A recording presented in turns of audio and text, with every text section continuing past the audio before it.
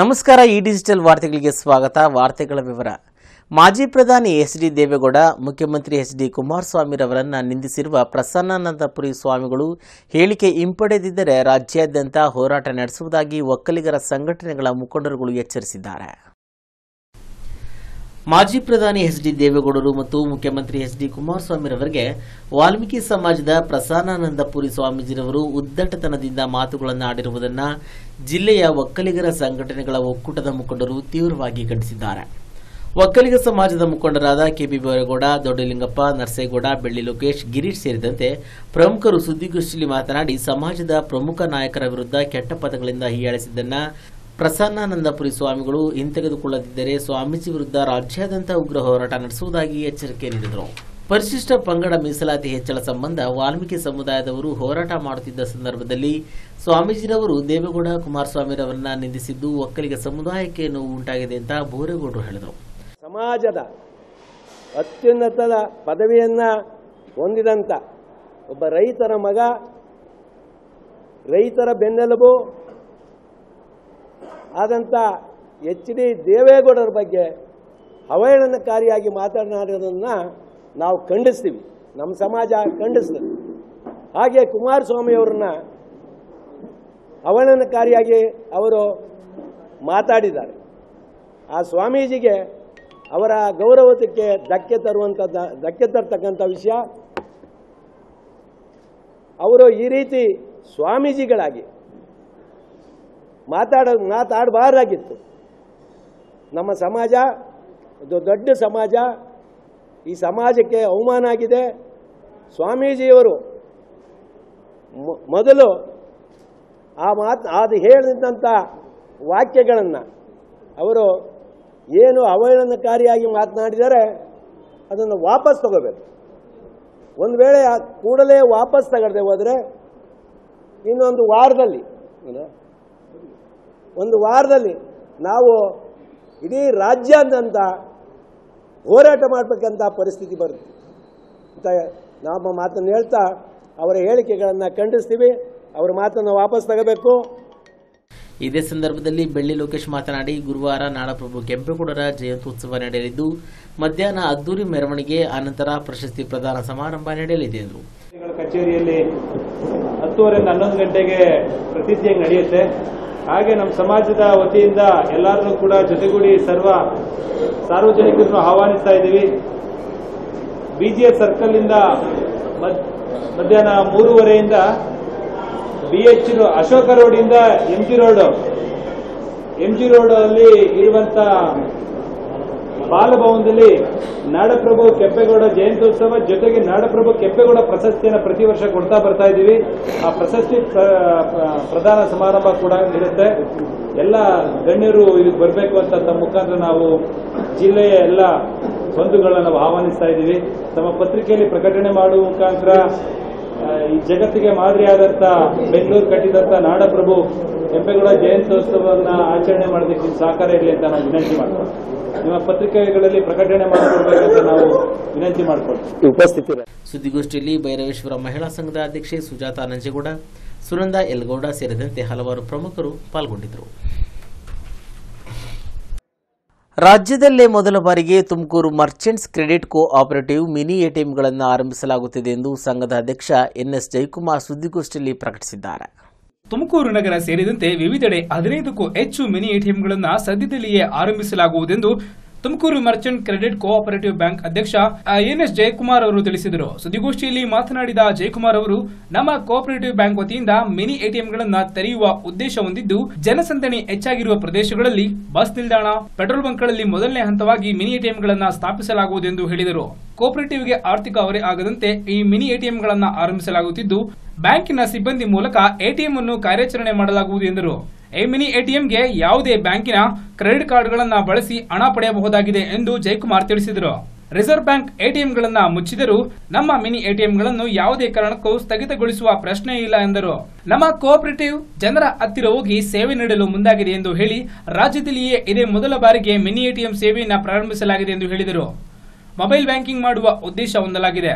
ಇದಲ್ಲದೆ ಮೊಬೈಲ್ನಲ್ಲಿ ಮನಿ ವರ್ಗಾವಣೆ, ಆಧಾರ್ ಕಾರ್ಡ್ ಮೂಲಕ ಹಣ ಪಡೆಯುವುದು, ಭಾರತ್ ಬಿಲ್ ಪೇ ಮಾಡುವ ವಿವಿಧ ಯೋಜನೆಗಳನ್ನ ಶೀಘ್ರವೇ ಅನುಷ್ಠಾನಗೊಳಿಸಲು ಎಲ್ಲಾ ತರಹದ ಸಿದ್ಧತೆಯನ್ನ ಮಾಡಿಕೊಳ್ಳಲಾಗುತ್ತಿದೆ ಎಂದು ಅಧ್ಯಕ್ಷ ಜಯಕುಮಾರ್ ತಿಳಿಸಿದರು. ಕೋಆಪರೇಟಿವ್ ಹದಿನೈದು ಸಾವಿರ ಕೋಟಿ ರೂನಷ್ಟು ವ್ಯವಹಾರ ನಡೆಸುತ್ತಿದ್ದು, ಇದರಲ್ಲಿ ಇಪ್ಪತ್ತೊಂದು ಕೋಟಿ ಇಪ್ಪತ್ತಾರು ಲಕ್ಷ ನಿವ್ವಳ ಲಾಭ ಹೊಂದಿದೆ ಎಂದು ಪತ್ರಕರ್ತರಿಗೆ ಮಾಹಿತಿ ಹಂಚಿಕೊಂಡರು. ಬಹಳಷ್ಟು ಎಟಿಎಂಗಳನ್ನ ವಿತ್ಡ್ರಾ ಮಾಡಬೇಕು ಅಂತ ಅಲ್ಲಿ ಹೇಳಿಕೆ ಕೊಟ್ಟಿದ್ದಾರೆ ಗವರ್ನರ್ ಸೊ ಇಂಥ ಸಂದರ್ಭದಲ್ಲಿ ನಾವೇನ್ ಮಾಡ್ತೀವಿ? ನಮ್ಮ ಬ್ರಾಂಚ್ನಲ್ಲಿ ಬಂದು ಅವರು ಬೇಕಾದ್ರೆ ಎನಿ ಡೆಬಿಟ್ ಕಾರ್ಡ್ ನಮ್ಮಲ್ಲಿ ಅಕೌಂಟ್ ಇರಲೇಬೇಕು ಅಂತ ಅನ್ನೋದಿಲ್ಲ. ಎನಿ ಡೆಬಿಟ್ ಕಾರ್ಡ್ಸ್ನ ಯೂಸ್ ಮಾಡಿ ಬೇಕಾದ್ರೆ ಮಾಡಬೇಕು ಇದನ್ನ ನಾವು ಸರ್ವಿಸಸ್ನ ಎಲ್ಲಿ ಎಕ್ಸ್ಟೆಂಡ್ ಮಾಡಕ್ ಹೊರಟಿದೀವಿ ಅಂತಂದ್ರೆ, ಒಂದು ಪೆಟ್ರೋಲ್ ಬಂಕು ಒಂದು ನಮ್ಮ ಬಸ್ ಸ್ಟ್ಯಾಂಡ್ ಎಲ್ಲಿ ಜನಸಂದಣಿ ಇರುತ್ತೆ, ಎಲ್ಲಿ ಬಿಸ್ನೆಸ್ ಫ್ಲೋಟಿಂಗ್ ಎಲ್ಲಿ ನಡೆಯುತ್ತೆ, ಎಲ್ಲಿ ಅಂತ ನಮ್ಮಲ್ಲೇ ಒಬ್ಬ ವ್ಯಕ್ತಿ ಕುಂತ್ಕೊಂತಾನೆ. ಅದನ್ನೆಲ್ಲ ಟೈಮಿಂಗ್ಸ್ ಫಿಕ್ಸ್ ಮಾಡ್ತೀವಿ ಇನ್ನೂ ಅದು ನಮ್ಮ ವ್ಯಕ್ತಿ ಕುಂತ್ಕೊಂತಾನೆ ವ್ಯಕ್ತಿ ಕುಂತ್ಕೊಂಡು ಅವನು ಅಲ್ಲೇ ಕ್ಯಾಶ್ ಕೊಡ್ತಾನೆ. ಅಲ್ಲೇ ಕ್ಯಾಶ್ ಕೊಡ್ತಾನೆ. ನಮ್ಮ ಯಾರು ಎಂಪ್ಲಾಯಿ ಇರ್ತಾರೆ, ಅವನೇ ಕ್ಯಾಶ್ ಕೊಡ್ತಾರೆ. ಸೊ ನೀವೆಲ್ಲೂ ಈಗ ಪೆಟ್ರೋಲ್ ಬಂಕು, ನೀವು ಪೆಟ್ರೋಲ್ ಹಾಸ್ಕೊಳಕ್ ಹೋಗ್ತೀರಾ, ಅಕಸ್ಮಾತ್ ಎಲ್ಲೋ ಮುಂದ್ಗಡೆ ಹೋಗ್ಬೇಕು. ನಿಲ್ಲಿಸ್ಬಿಟ್ಟು ಮುಂದ್ಗಡೆ ಹೋಗ್ಬೇಕು. ಆ ಮುಂದ್ಗಡೆ ಹೋಗುವಂತ ಸಂದರ್ಭದಲ್ಲಿ ಏನಾಗುತ್ತೆ ಅಂತಂದ್ರೆ ಸೊ ನಿಲ್ಲಿಸ್ಬೇಕು, ಗಾಡಿ ಸೆಕ್ಯೂರಿಟಿ ಇವತ್ತು ಎ ಟಿ ಎಮ್ಗಳೆಲ್ಲ ಆಗ್ತಿರೋ ಅನಾಹುತಗಳಿಗೆ ಎಲ್ಲರಿಗೂ ಗೊತ್ತಿದೆ. ಅಲ್ಲಿ ಎ ಟಿ ಎಂ ಸ್ವೈಪ್ ಮಾಡಕ್ ಹೋದಾಗ ಬಹಳಷ್ಟು ಜನ ಡ್ಯಾಮೇಜಸ್ ಆಗಿ, ಜನಗಳಿಗೆ ಡ್ಯಾಮೇಜಸ್ ಇದು ಓಪನ್ ಆಗಿರುತ್ತೆ ಇದು. ಜನಸಂತ ಜನ ಮಧ್ಯದಲ್ಲಿ ಇರುತ್ತೆ. ಅದಕ್ಕೆ ನಾವು ಎಲ್ಲ ಸಿ ಸಿ ಟಿ ವಿ ಮತ್ತೊಂದು ಏನೇನು ಬೇಕೋ ಎಲ್ಲ ಓಡಿಸ್ತೀವಿ ಅದಕ್ಕೆ. ಸೊ ಅಂಥದ್ದು ಪೆಟ್ರೋಲ್ ಬಂಕು, ಬಸ್ ಸ್ಟ್ಯಾಂಡು, ಎಲ್ಲಿ ಜನಸಂದಣಿ ಇರುತ್ತೆ, ಆ ಕಡೆ ಇದನ್ನು ಮಿನಿ ಎ ಟಿ ಎಮ್ನ ನಾವು ಕೊಡಬೇಕು ಅಂತ ತೀರ್ಮಾನ ತಗೊಂಡು ಈಗಾಗಲೇ ಎಲ್ಲ ಪ್ರೋಸೆಸ್ ಆಗಿದೆ. ಈ ಮಿನಿ ಎ ಟಿ ಎಮ್ನ ನೆಕ್ಸ್ಟ್ ಈಗ ಬ್ರಾಂಚಲ್ಲಿ ಒನ್ ಆರ್ ಟೂ ಡೇಸ್ನಲ್ಲಿ ನಾವು ಇಂಟ್ರೊಡ್ಯೂಸ್ ಮಾಡಿ ಬಸ್ ಸ್ಟ್ಯಾಂಡಲ್ಲೆಲ್ಲ ರಿಕ್ವೆಸ್ಟ್ ಮಾಡ್ಕೊಂಡು ನಮ್ಗೆ ಒಂದು ಸ್ವಲ್ಪ ಜಾಗ ಕೊಡಿ ಅಂತೇಳಿ. ಅದಕ್ಕೆಲ್ಲ ಒಂದು ಫ್ರೇಮ್ ತರ ಮಾಡಿ, ಒಂದು ಸೆಕ್ಯೂರಿಟಿ ಪರ್ಪಸ್ ಕುಂತ್ಕೊಳಕ್ಕೆ ಮಂಚ ಕ್ಯಾಶ್ ಇಟ್ಕೊಳೋದಕ್ಕೆ ಎಲ್ಲ ವ್ಯವಸ್ಥೆನೂ ಮಾಡ್ತಾ ಇದ್ದೀವಿ ಇದು ನಮ್ಮ ಜನಕ್ಕೆ ಆದಷ್ಟು ಹತ್ತಿರದಿಂದ ಸೇವೆ ಸಿಗ್ಲಿ ನಾವು ಒಂದು ಸೆಕ್ಯೂರಿಟಿ ಒಂದು ಹತ್ತಿರದಿಂದ ಸೇವೆ ಸಿಗ್ಲಿ ಅಂತ ಹೇಳ್ಬಿಟ್ಟು ಈ ವ್ಯವಸ್ಥೆನ ನಾವು ಇವತ್ತು ಟೆಕ್ನಾಲಜಿನ ನಾವು ಕೊಡಕ್ಕೆ ಹೊರಟಿದ್ದೀವಿ ನಾವು. ಸಂಘದ ಸದಸ್ಯರು ಷೇರುದಾರರಿಗೆ ಸಂಸ್ಥೆ ವತಿಯಿಂದ ಎರಡು ಲಕ್ಷ ರು ಮೌಲ್ಯದ ಅಪಘಾತ ವಿಮೆ ಮಾಡಿಸಲು ಉದ್ದೇಶಿಸಲಾಗಿದೆ ಎಂದರು. ಉಪಾಧ್ಯಕ್ಷ ಶ್ರೀಧರ, ನಿರ್ದೇಶಕರಾದ ಮೋಹನ್, ಜಯರಾಮ್, ಅರುಣ್ ಸೇರಿದಂತೆ ಎಲ್ಲಾ ನಿರ್ದೇಶಕರು ಈ ಸಂದರ್ಭದಲ್ಲಿ ಪಾಲ್ಗೊಂಡಿದ್ದರು. ವಿವಿಧ ಸಮಸ್ಯೆಗಳ ಈಡೇರಿಕೆಗೆ ಆಗ್ರಹಿಸಿ ನೂರಾರು ರೈತರು ತುಮಕೂರು ಜಿಲ್ಲಾಧಿಕಾರಿಗಳ ಕಚೇರಿಗೆ ಮುತ್ತಿಗೆ ಹಾಕಿ ಪ್ರತಿಭಟಿಸಿದರು.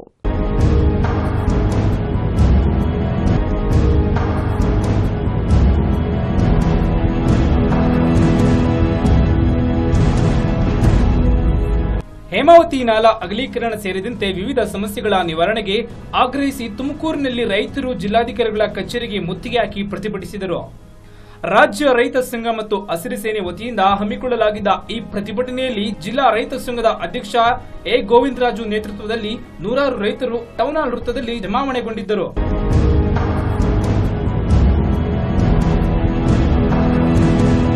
ಅನಂತರ ನಿಂದ ಹೊರಟ ಪ್ರತಿಭಟನಾಕಾರರು ನಗರದ ವಿವಿಧ ರಸ್ತೆಗಳಲ್ಲಿ ಸಾಗಿ ಜಿಲ್ಲಾಧಿಕಾರಿಗಳ ಕಚೇರಿ ತಲುಪಿ ಸರ್ಕಾರದ ವಿರುದ್ಧ ಆಕ್ರೋಶ ವ್ಯಕ್ತಪಡಿಸಿದರು.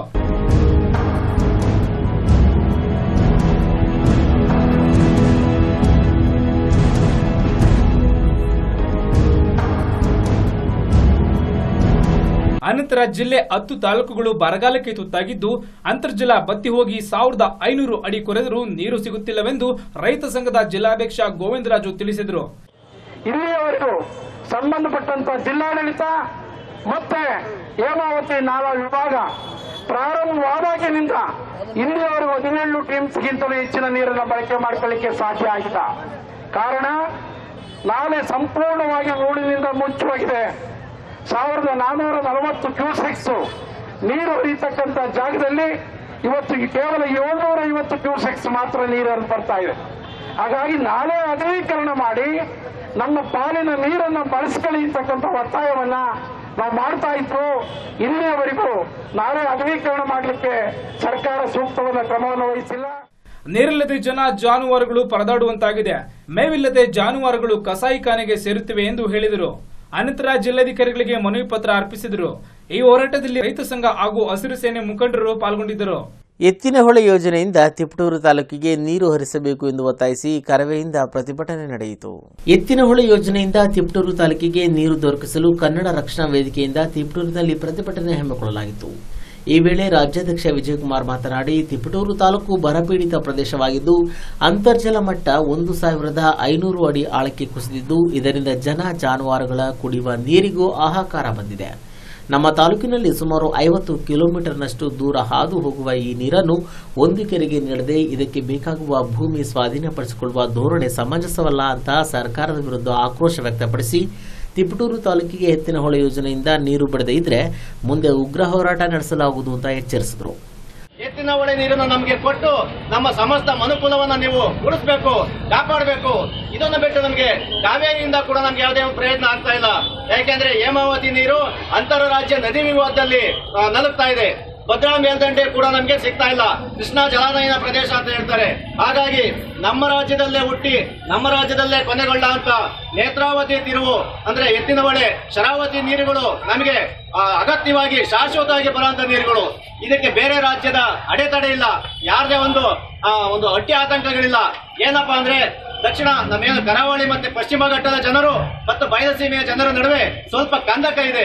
ಇದನ್ನ ಸರ್ಕಾರ ಮುಂಜಾಗ್ರತೆ ವಹಿಸಿ, ಅವ್ರಿಗೂ ಮನವರಿಕೆ ಮಾಡಿಕೊಟ್ಟು ಅತಿ ಪ್ರವಾಹದೋಪಾದಿಯಲ್ಲಿ ಇರತಕ್ಕಂತ ನೀರಿಂದ ನಿಮಗೆ ಪ್ರವಾಹ ಬಂದು ನಿಮ್ಮ ಜೀವನವನ್ನ ಅಸ್ತಮಸ್ತ ಮಾಡುವಂತ ಸಂದರ್ಭದಲ್ಲಿ ಹೆಚ್ಚುವರಿ ನೀರಿಂದ ಬಯಸಿ ನಿಮಗೆ ಕೊಡ್ತೀವಿ ಅಂತ ಹೇಳಿ ಅವ್ರಿಗೆ ಮನವೊಪ್ಸಿ, ನಮ್ಗೆಲ್ಲ ನೀರನ್ನ ಕೊಡ್ರಿ, ನಾವೆಲ್ಲ ಉಳಿತೀವಿ. ಇಲ್ಲ ಅಂತಂದ್ರೆ ನಮ್ಮ ಬದುಕು ಸರ್ವನಾಶ ಆಗ್ತದೆ. ಇದು ನಾವೇನು ಹೋರಾಟ ನಮ್ಗೆ ಅಗತ್ಯವೋ, ನಮಗೆ ನೀರನ್ನು ಕೊಡೋದು ಕೂಡ ಈ ಸರ್ಕಾರಕ್ಕೆ ಅವರು ದೊರಕೋದು ಕೊಡ್ತಾ ಇಲ್ಲ. ಇಂಥ ಅನಾಗರಿಕ ಅನಾಗರಿಕ ಅಯೋಗ್ಯ ಜನಪ್ರತಿನಿಧಿಗಳನ್ನು ಕಳಿಸಿ ಇವತ್ತು ಕನ್ನಡ ರಕ್ಷಣಾ ವೇದಿಕೆ ಬೀದಿಗಿಳಿದು ಹೋರಾಟವನ್ನ ಮಾಡ್ತಾ ಇದೆ. ಇದರ ಅಂಗವಾಗಿ ಇದು ಪ್ರಾರಂಭದ ದಿನ. ಸೌಹಾರ್ದ ವೇದಿಕೆ ಅಧ್ಯಕ್ಷ ಅಲ್ಲಾಬಕಶ್ ಮಾತನಾಡಿ, ಇಂದಿನ ಸರ್ಕಾರ ಮಲತಾಯಿ ಧೋರಣೆ ಅನುಸರಿಸುತ್ತಿದ್ದು, ಅರಸೀಕೆರೆ, ಗುಬ್ಬಿ, ತುಮಕೂರು ಮೊದಲಾದ ತಾಲೂಕುಗಳಿಗೆ ನೀರು ಕೊಡುವ ಈ ಯೋಜನೆ ತಿಪ್ಪಡೂರು ತಾಲೂಕಿನಲ್ಲಿ ಹಾದು ಹೋದರೂ ತಿಪ್ಪಡೂರಿನ ಜಮೀನನ್ನ ಪಡೆದು ಅವರಿಗೆ ನೀರಿಲ್ಲ ಅಂದ್ರೆ ಹೇಗೆ? ಈ ಯೋಜನೆ ಪೂರ್ಣಗೊಂಡರೆ ಇನ್ಯಾವತ್ತೂ ತಿಪ್ಪಡೂರು ತಾಲೂಕಿಗೆ ನೀರು ಬರಲು ಸಾಧ್ಯವಿಲ್ಲ. ನೀರು ಬಿಡದಿದ್ರೆ ನಮ್ಮ ಹೋರಾಟ ಅನಿವಾರ್ಯ ಅಂತ ಎಚ್ಚರಿಕೆ ನೀಡಿದರು. ತಿಪ್ಪೂರು ತಾಲೂಕಿಗೆ ನಿಮ್ಮ ಕಾನೂನಾತ್ಮಕ ಪ್ರಶ್ನೆಗಳು ನಿಮಗೆ ಬೇಕಿಲ್ಲ, ಹೇಮಾವತಿ ಕೊಡ್ತಾ ಇದ್ದೀವಿ, ಇನ್ನೊಂದು ಕೊಡ್ತಾ ಇದ್ದೀವಿ, ಶಿಕ್ಷಾ ನದಿ ವ್ಯಾಲಿ ಇದೆ, ಅವೆಲ್ಲ ಪ್ರಶ್ನೆಗಳು ಬೇಕಿಲ್ಲ. ನಮಗೆ ಬೇಕಿರ್ತಕ್ಕಂಥದ್ದು ಒಂದೇನೆ, ನೀರು. ಅದನ್ನ ವಿತರಣವಾದ ಅಂತನಾದ್ರೂ ಮಾಡ್ಕೊಳ್ಳಿ, ಅದು ನಮ್ಮ ಹಠ ಅಂತನಾದ್ರೂ ಅನ್ಕೊಳ್ಳಿ, ಅಥವಾ ಅದು ನಮ್ಮ ತೊಗುರು ಅಂತನಾದ್ರೂ ಅನ್ಕೊಳ್ಳಿ. ನಮಗೆ ಬೇಕಿರೋ ನೀರು, ನೀರನ್ನು ಕೊಡೋವರೆಗೂ ನಮ್ಮ ಹೋರಾಟ ಮುಂದುವರಿಯುತ್ತೆ. ಇವತ್ತೇನು ವಿಜಯ್ ಕುಮಾರ್ ಅವ್ರ ನೇತೃತ್ವದಲ್ಲಿ ಏನು ಕನ್ನಡ ಸಂಘ ಈ ಹೋರಾಟನ ಮಾಡ್ತಾ ಇದೆ. ಹೃತ್ಪೂರ್ವಕವಾಗಿ ಈ ಹೋರಾಟವನ್ನ ನಾನು ಬೆಂಬಲಿಸ್ತೀನಿ. ಅವರು ನಮ್ಮ ಜೊತೆನೂ ಕೂಡ ಸದಾ ಏನು ಎತ್ತಿನ ಹೊಳೆ ಹೋರಾಟ ಸಮಿತಿ ಏನು ಹೋರಾಟ ಮಾಡ್ತಾ ಇದೆ ನಿಂತಾರೆ ಅಂತಕ್ಕಂಥ ಆಶಯದೊಂದಿಗೆ ನನಗೆ ಮಾತನಾಡಲಿಕ್ಕೆ ಅವಕಾಶ ಮಾಡಿಕೊಟ್ಟಂತ ಅವರು ವಂದಿಸಿ ನನ್ನ ಮಾತುಗಳನ್ನ ಮುಗಿಸ್ತೇನೆ. ಕನ್ನಡ ರಕ್ಷಣಾ ವೇದಿಕೆ ತಾಲೂಕು ಅಧ್ಯಕ್ಷ ಶಿವಣ್ಣ, ಕಾರ್ಯದರ್ಶಿ ಕಿರಣ್, ಗೌರವಾಧ್ಯಕ್ಷ ಮಲ್ಲಿಕಾರ್ಜುನ್, ರಾಜ್ಯ ಸಂಘಟನಾ ಕಾರ್ಯದರ್ಶಿ ದೇವರಾಜು ಇತರರು ಪಾಲ್ಗೊಂಡಿದ್ದರು. ಮತ್ತೆ ವಾರ್ತೆಗಳಿಗೆ ಸ್ವಾಗತ. ಗುಂಡ್ಲುಪೇಟೆಯಲ್ಲಿ ದಲಿತ ಯುವಕನ ಮೇಲೆ ನಡೆದ ಹಲ್ಲೆ ಖಂಡಿಸಿ ತಿಪ್ಟೂರಿನಲ್ಲಿ ಪ್ರತಿಭಟನೆ ನಡೆಯಿತು. ಗುಂಡ್ಲುಪೇಟೆ ದಲಿತ ಯುವಕ ಪ್ರತಾಪ್ ಮೇಲೆ ಅಮಾನುಷವಾಗಿ ಮತ್ತು ಹಾಸನ ಜಿಲ್ಲೆಯ ಅಲೆಮಾರಿ ಹೆಣ್ಣು ಮಗಳ ಅತ್ಯಾಚಾರ ಖಂಡಿಸಿ ತಿಪ್ಪಟೂರಿನಲ್ಲಿ ಕರ್ನಾಟಕ ದಲಿತ ಸಂಘರ್ಷ ಸಮಿತಿ ಹಾಗೂ ವಿವಿಧ ಸಂಘಟನೆಗಳಿಂದ ಪ್ರತಿಭಟನೆ ಹಾಗೂ ಮೆರವಣಿಗೆ ಹಮ್ಮಿಕೊಳ್ಳಲಾಗಿತ್ತು. ನಗರದ ಅಂಬೇಡ್ಕರ್ ವೃತ್ತದಿಂದ ಮೆರವಣಿಗೆ ಸಾಗಿ ಉಪವಿಭಾಗಾಧಿಕಾರಿಗಳ ಕಚೇರಿ ಮುಂದೆ ಪ್ರತಿಭಟನಾ ಧರಣಿ ನಡೆಸಲಾಯಿತು. ಈ ವೇಳೆ ದಲಿತ ಸಂಘರ್ಷ ಸಮಿತಿ ಜಿಲ್ಲಾ ಸಂಚಾಲಕ ಕುಂದೂರು ತಿಮ್ಮಯ್ಯ ಮಾತನಾಡಿ, ಗುಂಡ್ಲುಪೇಟೆ ತಾಲೂಕಿನಲ್ಲಿ ನಡೆದಿರುವ ಬೆತ್ತಲೆ, ಮೆರವಣಿಗೆ ಪ್ರಕರಣ ನಾಗರಿಕ ಸಮಾಜ ತಲೆ ತಗ್ಗಿಸುವ ಕೃತ್ಯವಾಗಿದೆ. ಇಂತಹ ಕೃತ್ಯವನ್ನು ಪ್ರಜ್ಞಾವಂತರು ಖಂಡಿಸಬೇಕಾಗಿದೆ. ಆದರೆ ದಲಿತ ಸಂಘಟನೆಗಳನ್ನು ಹೊರತುಪಡಿಸಿ ಮೇಲ್ವರ್ಗದ ಯಾವುದೇ ಪ್ರಜ್ಞಾವಂತರು ಇರುವುದು ವಿಪರ್ಯಾಸದ ಸಂಗತಿ. ಇತ್ತೀಚಿನ ದಿನಗಳಲ್ಲಿ ದಲಿತರ ಮೇಲೆ ದೌರ್ಜನ್ಯ ಹೆಚ್ಚಿದ್ದು, ಕಾನೂನು ಸುವ್ಯವಸ್ಥೆಯ ಸಂಕೇತವಾಗಿರುವ ಈ ದೇಶದ ಮೂಲ ನಿವಾಸಿಗಳು ಆತಂಕದಲ್ಲಿ ಬದುಕುವ ಸ್ಥಿತಿ ನಿರ್ಮಾಣವಾಗಿದೆ. ಜಾತಿ ಹೆಸರಲ್ಲಿ, ದಲಿತರ ಮೇಲೆ ಮತ್ತು ಧಾರ್ಮಿಕ ಅಲ್ಪಸಂಖ್ಯಾತರ ಮೇಲೆ ಮನುವಾದಿಗಳು ತಂತ್ರ ರೂಪಿಸಿ ದೌರ್ಜನ್ಯ ನಡೆಸುತ್ತಿದ್ದಾರೆ. ಇಂತಹ ಕೃತ್ಯ ನಡೆಯದಂತೆ ಕಠಿಣ ಕಾನೂನು ರೂಪಿಸಿ ಜಾರಿಗೊಳಿಸಬೇಕು ಅಂತ ಒತ್ತಾಯಿಸಿದರು. ಕೊಲೆ ಬೆದರಿಕೆ, ಜೀವ ಬೆದರಿಕೆ ಈ ಹಿಂದುತ್ವವಾದದಿಂದ ಇವತ್ತೆಲ್ಲ ಇವೆಲ್ಲ ಪ್ರಕರಣಗಳು ನಡೀತಾನೆ ಇದ್ದಾವೆ. ಅದರಿಂದ ನಾವು ಹೇಳ್ತೀವಿ, ಈ ದೇಶದಲ್ಲಿರುವಂತಹ ಮುಸ್ಲಿಮರಾಗಲಿ, ಕ್ರಿಶ್ಚಿಯನ್ರಾಗಲಿ ಅಥವಾ ಬುದ್ಧಿಸ್ಟ್ ಆಗಲಿ ಈ ದೇಶದ ಮೂಲ ನಿವಾಸಿಗಳಾದ ದಲಿತರ ಮೇಲೆ ಯಾರು ಅತ್ಯಾಚಾರ ಮಾಡಿಲ್ಲ, ಯಾರು ದೌರ್ಜನ್ಯ ಮಾಡಿಲ್ಲ, ಯಾರು ಕೊಲೆ ಮಾಡಿಲ್ಲ ಅವ್ರು ಯಾರು? ಮಾಡ್ತಾರೆ ಯಾರು? ಹಿಂದೂಗಳ ಹೆಸರಿನಲ್ಲಿ ಹೇಳ್ಕೊಂಡು, ಹಿಂದುತ್ವದ ಪ್ರತಿಭಾಸ ಅಂತ ಹೇಳ್ಕೊಂಡಂತ ಈ ಹಿಂದುತ್ವದ ಮನುವಾದಿಗಳು ಈ ದೇಶದ ಮೂಲ ಪುರುಷರ ಮೇಲೆ ನಡೆಸಿದಂತ ದೌರ್ಜನ್ಯ, ದಬ್ಬಾಳಿಕೆ, ಅತ್ಯಾಚಾರ ಹಿರಿಯ ಪತ್ರಕರ್ತ ಹಾಗೂ ಜನಪರ ಹೋರಾಟಗಾರ ಉಜ್ಜಿ ರಾಜಣ್ಣ ದಲಿತ ಮುಖಂಡ ನಾಗತಿಹಳ್ಳಿ ಕೃಷ್ಣಮೂರ್ತಿ ಸಿಎಸ್ ಮಲ್ಲಿಕಾರ್ಜುನ ಚನ್ನಬಸವಣ್ಣ ಇತರರು ಪಾಲ್ಗೊಂಡಿದ್ದರು. ಗುಂಡ್ಲುಪೇಟೆಯಲ್ಲಿ ದಲಿತ ಯುವಕನ ಮೇಲೆ ನಡೆದ ಹಲ್ಲೆ ಖಂಡಿಸಿ ತಿಪ್ಪಟೂರಿನಲ್ಲಿ ಪ್ರತಿಭಟನೆ ನಡೆಯಿತು. ಗುಂಡ್ಲುಪೇಟೆ ದಲಿತ ಯುವಕ ಪ್ರತಾಪ್ ಮೇಲೆ ಅಮಾನುಷವಾಗಿ ಮತ್ತು ಹಾಸನ ಜಿಲ್ಲೆಯ ಅಲೆಮಾರಿ ಹೆಣ್ಣು ಮಗಳ ಅತ್ಯಾಚಾರ ಖಂಡಿಸಿ ತಿಪ್ಪಟೂರಿನಲ್ಲಿ ಕರ್ನಾಟಕ ದಲಿತ ಸಂಘರ್ಷ ಸಮಿತಿ ಹಾಗೂ ವಿವಿಧ ಸಂಘಟನೆಗಳಿಂದ ಪ್ರತಿಭಟನೆ ಹಾಗೂ ಮೆರವಣಿಗೆ ಹಮ್ಮಿಕೊಳ್ಳಲಾಗಿತ್ತು. ನಗರದ ಅಂಬೇಡ್ಕರ್ ವೃತ್ತದಿಂದ ಮೆರವಣಿಗೆ ಸಾಗಿ ಉಪವಿಭಾಗಾಧಿಕಾರಿಗಳ ಕಚೇರಿ ಮುಂದೆ ಪ್ರತಿಭಟನಾ ಧರಣಿ ನಡೆಸಲಾಯಿತು. ಈ ವೇಳೆ ದಲಿತ ಸಂಘರ್ಷ ಸಮಿತಿ ಜಿಲ್ಲಾ ಸಂಚಾಲಕ ಕುಂದೂರು ತಿಮ್ಮಯ್ಯ ಮಾತನಾಡಿ, ಗುಂಡ್ಲುಪೇಟೆ ತಾಲೂಕಿನಲ್ಲಿ ನಡೆದಿರುವ ಬೆತ್ತಲೆ, ಮೆರವಣಿಗೆ ಪ್ರಕರಣ ನಾಗರಿಕ ಸಮಾಜ ತಲೆ ತಗ್ಗಿಸುವ ಕೃತ್ಯವಾಗಿದೆ. ಇಂತಹ ಕೃತ್ಯವನ್ನು ಪ್ರಜ್ಞಾವಂತರು ಖಂಡಿಸಬೇಕಾಗಿದೆ. ಆದರೆ ದಲಿತ ಸಂಘಟನೆಗಳನ್ನು ಹೊರತುಪಡಿಸಿ ಮೇಲ್ವರ್ಗದ ಯಾವುದೇ ಪ್ರಜ್ಞಾವಂತರು ಇರುವುದು ವಿಪರ್ಯಾಸದ ಸಂಗತಿ. ಇತ್ತೀಚಿನ ದಿನಗಳಲ್ಲಿ ದಲಿತರ ಮೇಲೆ ದೌರ್ಜನ್ಯ ಹೆಚ್ಚಿದ್ದು, ಕಾನೂನು ಸುವ್ಯವಸ್ಥೆಯ ಸಂಕೇತವಾಗಿರುವ ಈ ದೇಶದ ಮೂಲ ನಿವಾಸಿಗಳು ಆತಂಕದಲ್ಲಿ ಬದುಕುವ ಸ್ಥಿತಿ ನಿರ್ಮಾಣವಾಗಿದೆ. ಜಾತಿ ಹೆಸರಲ್ಲಿ ದಲಿತರ ಮೇಲೆ ಮತ್ತು ಧಾರ್ಮಿಕ ಅಲ್ಪಸಂಖ್ಯಾತರ ಮೇಲೆ ಮನುವಾದಿಗಳು ತಂತ್ರ ರೂಪಿಸಿ ದೌರ್ಜನ್ಯ ನಡೆಸುತ್ತಿದ್ದಾರೆ. ಇಂತಹ ಕೃತ್ಯ ನಡೆಯದಂತೆ ಕಠಿಣ ಕಾನೂನು ರೂಪಿಸಿ ಜಾರಿಗೊಳಿಸಬೇಕು ಅಂತ ಒತ್ತಾಯಿಸಿದರು. ಕೊಲೆ ಬೆದರಿಕೆ, ಜೀವ ಬೆದರಿಕೆ ಈ ಹಿಂದುತ್ವವಾದದಿಂದ ಇವತ್ತೆಲ್ಲ ಇವೆಲ್ಲ ಪ್ರಕರಣಗಳು ನಡೀತಾನೆ ಇದ್ದಾವೆ. ಅದರಿಂದ ನಾವು ಹೇಳ್ತೀವಿ, ಈ ದೇಶದಲ್ಲಿರುವಂಥ ಮುಸ್ಲಿಮರಾಗಲಿ, ಕ್ರಿಶ್ಚಿಯನ್ರಾಗಲಿ ಅಥವಾ ಬುದ್ಧಿಸ್ಟ್ ಆಗಲಿ ಈ ದೇಶದ ಮೂಲ ನಿವಾಸಿಗಳಾದ ದಲಿತರ ಮೇಲೆ ಯಾರೂ ಅತ್ಯಾಚಾರ ಮಾಡಿಲ್ಲ, ಯಾರು ದೌರ್ಜನ್ಯ ಮಾಡಿಲ್ಲ, ಯಾರು ಕೊಲೆ ಮಾಡಿಲ್ಲ ಅವ್ರು ಯಾರು. ಮಾಡ್ತಾರೆ ಯಾರು? ಹಿಂದೂಗಳ ಹೆಸರನ್ನ ಹೇಳಿಕೊಂಡು, ಹಿಂದುತ್ವದ ಪ್ರತಿಭಾಸ ಅಂತ ಹೇಳಿಕೊಂಡಂತ ಈ ಹಿಂದುತ್ವದ ಮನುವಾದಿಗಳು ಈ ದೇಶದ ಮೂಲ ಪುರುಷರ ಮೇಲೆ ನಡೆಸಿದಂತ ದೌರ್ಜನ್ಯ ದಬ್ಬಾಳಿಕೆ ಅತ್ಯಾಚಾರ ಹಿರಿಯ ಪತ್ರಕರ್ತ ಹಾಗೂ ಜನಪರ ಹೋರಾಟಗಾರ ಉಜ್ಜಿ ರಾಜಣ್ಣ ದಲಿತ ಮುಖಂಡ ನಾಗತಿಹಳ್ಳಿ ಕೃಷ್ಣಮೂರ್ತಿ ಸಿಎಸ್ ಮಲ್ಲಿಕಾರ್ಜುನ ಚನ್ನಬಸವಣ್ಣ ಇತರರು ಪಾಲ್ಗೊಂಡಿದ್ದರು. ದೇವನಹಳ್ಳಿ ತಾಲೂಕಿನಲ್ಲಿ ವಿವಿಧ ಅಭಿವೃದ್ಧಿ ಕಾಮಗಾರಿಗಳಿಗೆ ಶಾಸಕ ನಿಸರ್ಗ ನಾರಾಯಣಸ್ವಾಮಿ ಚಾಲನೆ ನೀಡಿದರು. ದೇವನಹಳ್ಳಿ ವಿಧಾನಸಭಾ ಕ್ಷೇತ್ರದ ವ್ಯಾಪ್ತಿಗೆ ಬರುವ ಗ್ರಾಮಗಳ ರಸ್ತೆ ಕಾಮಗಾರಿ ಶಾಲಾ ಕಟ್ಟಡಗಳ ಕಾಮಗಾರಿ ಕೊಳವೆ ಬಾವಿಗಳನ್ನು ಕೊರೆಸಲು ರಾಜ್ಯ ಸರ್ಕಾರ ಹೆಚ್ಚಿನ ಪ್ರೋತ್ಸಾಹ ನೀಡುತ್ತಿರುವುದು ಪ್ರಶಂಸನೀಯ ಎಂದು ಶಾಸಕ ನಿಸರ್ಗ ನಾರಾಯಣಸ್ವಾಮಿ ತಿಳಿಸಿದರು. ದೇವನಹಳ್ಳಿ ತಾಲೂಕಿನಲ್ಲಿ ವಿವಿಧ ಕಾಮಗಾರಿಗಳಿಗೆ ಚಾಲನೆ ನೀಡಿ ಮಾತನಾಡಿ, ಬರ ನಿರ್ವಹಣೆಯನ್ನು ಸಮರ್ಪಕವಾಗಿ ನಿಭಾಯಿಸುವ ದೃಷ್ಟಿಯಿಂದ ನಾಲ್ಕು ಗ್ರಾಮಗಳಿಗೆ ಕೊಳವೆ ಬಾವಿ ಹಾಗೂ ಸರ್ಕಾರಿ ಶಾಲೆಗಳ ಕೊಠಡಿ ಕಾಮಗಾರಿಗಳಿಗೆ ಒತ್ತು ನೀಡುವ ನಿಟ್ಟಿನಲ್ಲಿ ಗ್ರಾಮೀಣ ಭಾಗಗಳಲ್ಲಿ ತಂಗುದಾಣಕ್ಕೆ ಆದ್ಯತೆ ನೀಡುವ ಸಲುವಾಗಿ ಹತ್ತು ಹಲವು ಕಾರ್ಯಕ್ರಮ ಹಮ್ಮಿಕೊಳ್ಳಲಾಗಿದೆ. ಈ ಬಾರಿ ಮಳೆ ಕೈಕೊಟ್ಟಿದ್ದು ನೀರಿನ ಸಮಸ್ಯೆ ಕುರಿತು ಯಾವ ಗ್ರಾಮ ಪಂಚಾಯಿತಿಯಿಂದ ದೂರು ಬರದಿರುವಂತೆ ಎಚ್ಚರ ವಹಿಸಲು ಅಧಿಕಾರಿಗಳಿಗೆ ಸಲಹೆ ನೀಡಲಾಗಿದೆ. ರಾಜ್ಯದ ಮುಖ್ಯಮಂತ್ರಿ ಎಚ್ ಡಿ ಕುಮಾರಸ್ವಾಮಿ ತಾಲೂಕಿನ ಅಭಿವೃದ್ಧಿಗೆ ಸಾಕಷ್ಟು ಅನುದಾನ ನೀಡಿದ್ದಾರೆ. ಸಮ್ಮಿಶ್ರ ಸರ್ಕಾರ ಜನಪರ ಆಡಳಿತಕ್ಕೆ ದೇವನಹಳ್ಳಿ ವಿಧಾನಸಭಾ ಕ್ಷೇತ್ರವೇ ಮಾದರಿ ಅಂದರೆ ತಪ್ಪಾಗಲಾರದು ಎಂದರು. ಸಹಾಯಕ ಕಾರ್ಯಪಾಲಕ ಇಂಜಿನಿಯರ್ ಮಂಜುನಾಥ್ ಮಾತನಾಡಿ, ತಾಲೂಕಿನಲ್ಲಿ ಒಟ್ಟು ಕಾಮಗಾರಿಗಳ ವೆಚ್ಚ ಸುಮಾರು ಒಂದು ಪಾಯಿಂಟ್ ಎರಡು ಒಂಬತ್ತು ರೂಪಾಯಿಗಳಾಗಿದ್ದು, ಕರ್ನಾಟಕ ವಿಧಾನಸಭಾ ಸದಸ್ಯರ ಕ್ಷೇತ್ರಾಭಿವೃದ್ಧಿ ಯೋಜನೆಯಡಿ ಎರಡು ಬಸ್ ತಂಗುದಾಣ, ಕಾಮಗಾರಿಗೆ ಎಂಟು ಲಕ್ಷ ರೂಪಾಯಿ ಶಾಸಕರ ವಿಶೇಷ ಅನುದಾನದಲ್ಲಿ ಒಂದು ಪಾಯಿಂಟ್ ಎರಡು ಒಂದು ಲಕ್ಷ ಕೋಟಿ ರೂಪಾಯಿ ಕಾಮಗಾರಿ ರಸ್ತೆ ಕಾಮಗಾರಿಗೆ ಚಾಲನೆ ನೀಡಲಾಗಿದೆ ಎಂದರು.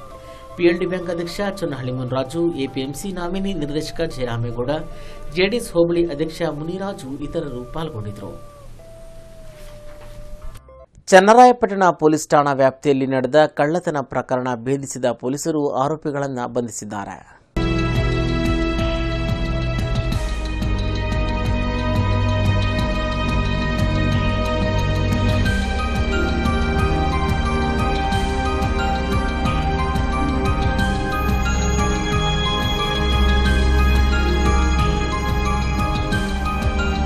ಚನ್ನರಾಯಪಟ್ಟಣ ಪೊಲೀಸ್ ಠಾಣೆ ವ್ಯಾಪ್ತಿಯಲ್ಲಿ ನಡೆದಿದ್ದ ಕಳ್ಳತನ ಪ್ರಕರಣದ ಬೆನ್ನು ಹತ್ತಿದ ಪೊಲೀಸರು ಸಂದೀಪ್ ಅಲಿಯಾಸ್ ಕೋತಿರೆಡ್ಡಿ, ಶ್ರೀನಿವಾಸ್, ನವೀನ್, ರಜನಿಕಾಂತ್, ಸಂದೀಪ್ ಎಂಬ ಆರೋಪಿಗಳನ್ನು Vijayapura police circle inspector DR Prakash ನೇತೃತ್ವದಲ್ಲಿ ಬಂಧಿಸಲಾಗಿದೆ. ಬಂಧಿತರಿಂದ ಎರಡು ಬೈಕ್, ಒಂದು ಕಾರು, ಲ್ಯಾಪ್ಟಾಪ್, ನಾಲ್ಕು ಮೊಬೈಲ್ ಫೋನ್, ಚಿನ್ನದ ಚೈನು, ಮಾಂಗಲ್ಯ ಹನ್ನೆರಡು ಸಾವಿರದ ಮುನ್ನೂರು ಹಣ ವಶಪಡಿಸಿಕೊಂಡಿದ್ದಾರೆಂದು Doddaballapura DYSP R Mohan Kumar Channarayapatna police ಠಾಣಾ ಆವರಣದಲ್ಲಿ ಸುದ್ದಿಗೋಷ್ಠಿಯಲ್ಲಿ ತಿಳಿಸಿದರು. ಇತ್ತೀಚೆಗೆ ಠಾಣೆ ವ್ಯಾಪ್ತಿಯಲ್ಲಿ ನಡೆದ ಮೂರು ಪ್ರಕರಣಗಳಲ್ಲಿ ನಡೆಸಿದ ತನಿಖೆಯಿಂದ ಆರೋಪಿ ಪತ್ತೆಯಾಗಿದ್ದು, ಇನ್ನು ಇಬ್ಬರು ಆರೋಪಿ ಶೋಧ ಕಾರ್ಯ ನಡೆದಿದೆ. ಬಂಧಿತರಿಂದ ಅಂದಾಜು ಬೆಲೆ ಒಟ್ಟು ಎಂಟು ಲಕ್ಷದ ಎಪ್ಪತ್ತಾರು ಸಾವಿರದ ಮುನ್ನೂರು ಲಕ್ಷ ರೂಪಾಯಿ ಬೆಲೆ ಇರುತ್ತದೆ ಎಂದು ವಿವರಿಸಿದರು.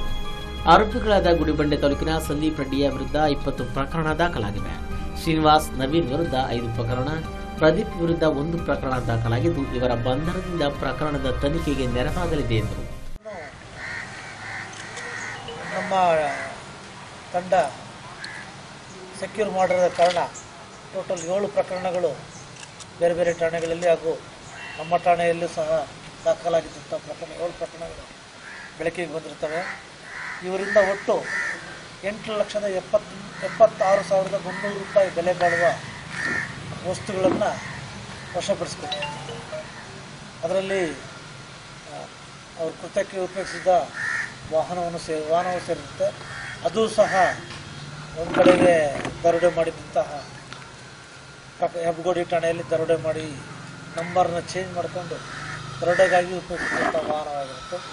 ಇದ್ರ ಜೊತೆಗೆ, ಇವ್ರ ಜೊತೆಗೆ ಇನ್ನು ಕೆಲವರು ಆರೋಪಿಗಳು ಇದ್ದರೂ ಅವರಿಂದ ನಮಗೆ ಪತ್ತೆ ಆಗಿಲ್ಲ. ಆದರೂ ಸಹ ಅದು ಪ್ರಗತಿಯಲ್ಲಿದೆ. ಅವ್ರನ್ನ ಪತ್ತೆ ಮಾಡೋ ಅನ್ನೋ ಕಾರ್ಯ ಪ್ರಗತಿಯಲ್ಲಿದೆ. ನನ್ನ ನಮ್ಮ ಈ ತಂಡದ ಕೆಲಸವನ್ನು ಮೆಚ್ಕೊಂಡ್ಬಿಟ್ಟು ಮೊನ್ನೆ ಎಸ್ ಪಿ ಸಾಹೇಬರು ತಂಡಕ್ಕೆ ನಗದು ಬಹುಮಾನವನ್ನು ಘೋಷಣೆ ಮಾಡಿದರು. ಸರ್ ಈಗ ಈ ಪ್ರಕರಣನ ಯಾವ ರೀತಿ ಬೆನ್ನತ್ತಿದ್ರಿ ಅಂದ್ರೆ ಯಾವ ಯಾವ ತರ ಕೇಸ್ ಆಗಿತ್ತು ಯಾವ ರೀತಿ ಇಲ್ಲಿ ಇಲ್ಲಿ ಯಾವ ರೀತಿ ಅಂದರೆ ರಾತ್ರಿ ಹೊತ್ತು ಸುಮಾರು ಹನ್ನೆರಡು ಗಂಟೆ ನಂತರ ಯಾರಾದರೂ ಒಟ್ಟಿ ವ್ಯಕ್ತಿ ಹೋಗೋರು ಅಥವಾ ಗಂಡ ಹೆಂಡತಿ ಹೋಗೋರು ಮೋಟರ್ ಸೈಕಲ್ನ ಹೋಗೋರು, ಇಂಥವ್ರನ್ನ ತಡೆದುಬಿಟ್ಟು ಅವರಿಂದ ಅವ್ರ ಹತ್ರ ಏನೇನು ಬೆಲೆ ಬಾಳುವ ವಸ್ತುಗಳಿಗೆ ಆ ವಸ್ತುಗಳನ್ನ ಮತ್ತು ಹಣವನ್ನು ಕಸ್ಕೊಂಡ್ಬಿಟ್ಟು ಅವ್ರನ್ನ ಕಳಿಸ್ಕೊಡೋದು ಒದಗಿಸೋದು ಈ ರೀತಿ ಇವರು ಮಾಡ್ತಾಯಿದ್ರು ಈ ರೀತಿ ಎರಡು ಪ್ರಕರಣ ದಾಖಲಾಗಿದ್ದು ಆ ಸಂದರ್ಭದಲ್ಲಿ ಇದು ಈ ಸಂದರ್ಭದಲ್ಲಿ ವಿಜಯಪುರ ವೃತ್ತ ನಿರೀಕ್ಷಕ ಡಿಆರ್ ಪ್ರಕಾಶ್, ಚನ್ನರಾಯಪಟ್ಟಣ ಪೊಲೀಸ್ ಠಾಣೆಯ ಪಿಎಸ್ಐ ನಂದೀಶ್ ಸಿಬ್ಬಂದಿ ಹಾಜರಿದ್ದರು. ಚಿಂತಾಮಣಿ ತಾಲೂಕು ಕೋರ್ಲಪರ್ತಿ ಗ್ರಾಮ ಪಂಚಾಯಿತಿ ವ್ಯಾಪ್ತಿಯಲ್ಲಿ ನಡೆದ ಕಾಮಗಾರಿಯಲ್ಲಿ ಅಕ್ರಮ ನಡೆದಿದೆ ಎಂದು ಸ್ಥಳೀಯರು ಆರೋಪಿಸಿದ್ದಾರೆ. ಚಿಂತಾಮಣಿ ತಾಲೂಕಿನ ಕೊರ್ಲಪರ್ತಿ ಗ್ರಾಮ ಪಂಚಾಯಿತಿ ಕಟ್ಟಡ ಕಾಮಗಾರಿ ರಾಜೀವ್ ಗಾಂಧಿ ಪಂಚಾಯಿತಿ ಯೋಜನೆ ಅಡಿಯಲ್ಲಿ ಹದಿನಾರು ಲಕ್ಷ ವೆಚ್ಚದಲ್ಲಿ ಕಳೆದ ಒಂದು ವರ್ಷದ ಹಿಂದೆ ಕಾಮಗಾರಿಗೆ ಪೂಜೆ ಮಾಡಲಾಗಿತ್ತು. ಕಾಮಗಾರಿ ಆರು ತಿಂಗಳಲ್ಲಿ ಪೂರ್ಣಗೊಳ್ಳಬೇಕಾಗಿತ್ತು. ಆದರೆ ಕಾಮಗಾರಿ ಇನ್ನೂ ಪೂರ್ಣಗೊಂಡಿಲ್ಲ. ಹಾಗೂ ಕಾಮಗಾರಿ ಕಳಪೆ ಆಗಿದೆ ಅಂತ ಗ್ರಾಮ ಪಂಚಾಯಿತಿ ಸದಸ್ಯ ಕೆವಿ ವೆಂಕಟನಾರಾಯಣ ಸೇರಿದಂತೆ ಕೆಲ ಸ್ಥಳೀಯರು ಆರೋಪಿಸಿದ್ದಾರೆ. ಕಟ್ಟಡದ ಕಾಮಗಾರಿ ಉದ್ಘಾಟನೆ ಮುನ್ನವೇ ಬೀಳುವ ಸ್ಥಿತಿಯಲ್ಲಿದೆ. ಗುತ್ತಿಗೆದಾರರು ಸಂಬಂಧಪಟ್ಟ ಅಧಿಕಾರಿಗಳಿಗೆ ಇಂತಿಷ್ಟು ಹಣ ನೀಡಿ ಕಳಪೆ ಕಾಮಗಾರಿ ಮಾಡಿದ್ದಾರೆ ಅಂತ ದೂರಿದರು. ಕಳಪೆ ಕಾಮಗಾರಿ ಮಾಡಿರುವ ಗುತ್ತಿಗೆದಾರರು ಹಾಗೂ ಇದಕ್ಕೆ ಸಹಕಾರ ನೀಡಿರುವ ಅಧಿಕಾರಿಗಳ ಮೇಲೆ ಕ್ರಮ ಜರುಗಿಸಬೇಕು ಅಂತ ಆಗ್ರಹಿಸಿದ್ದಾರೆ. ಇದು ನೂತನವಾಗಿ ಕಟ್ಟಡಕ್ಕೆ ನಮ್ಮ ಸರ್ಕಾರದಿಂದ ಒಂದು ಹದಿನೈದು ಲಕ್ಷ ರೂಪಾಯಿ ಬಿಡುಗಡೆ ಆಗಿತ್ತು. ಹದಿನೈದು ಲಕ್ಷ ಬಿಡುಗಡೆ ಆಗಿ ಅದು ಟೆಂಡರ್ ಹಾಕಿ ಬೈರೆಡ್ಡಿ. ಯಾವ ಯೋಜನೆ ಅಲ್ಲ ಸರ್ ಅದನ್ನ ಗಾಂಧಿ ಯೋಜನೆಯಲ್ಲಿ ಹದಿನೈದು ಲಕ್ಷ ರೂಪಾಯಿ ಬಿಡುಗಡೆ ಆಗಿತ್ತು. ರಾಜೀವ್ ಗಾಂಧಿ. ರಾಜೀವ್ ಗಾಂಧಿ. ಆ ಬಿಡುಗಡೆ ಆಗಿ ಸುಮಾರು ಮೂರ್ನಾಲ್ಕು ವರ್ಷ ಹಂಗೆ ಇತ್ತು ದುಡ್ಡು. ಅದು ಟೆಂಡರ್ಗೆ ಬರೋಕ್ಕೆ ಸರಿಯಾಗಿ ಅಧ್ಯಕ್ಷ ಸ್ಪಂದನೆ ಮಾಡಲಿಲ್ಲ. ಟೆಂಡರ್ ಒಳಗೆ ಜಲ್ದಿ ಅದು ಕಲಿಸಿ ಕಲಿಸಿ ಮೇಲೆ ಕಲಿಸಿ ಕಲಿಸಿ ಬರೋಕ್ಕೆ ಲೇಟ್ ಮಾಡಿದ್ರು. ನಾವು ನಮ್ಮ ಒತ್ತಾಯದ ಮೇರೆಗೆ ಕಳಿಸಿದ್ರು. ಕಳಿಸಿ ಅಪ್ರೂವ್ ಬಂತು. ಬಂದು ಬಂದ ಮೇಲೆ ಬೈರೆಡ್ಡಿ ಅನ್ನೋರಿಗೆ ಆಯಿತು ಅದು ಟೆಂಡರ್ ಗುತ್ತಿಗೆದಾರರು.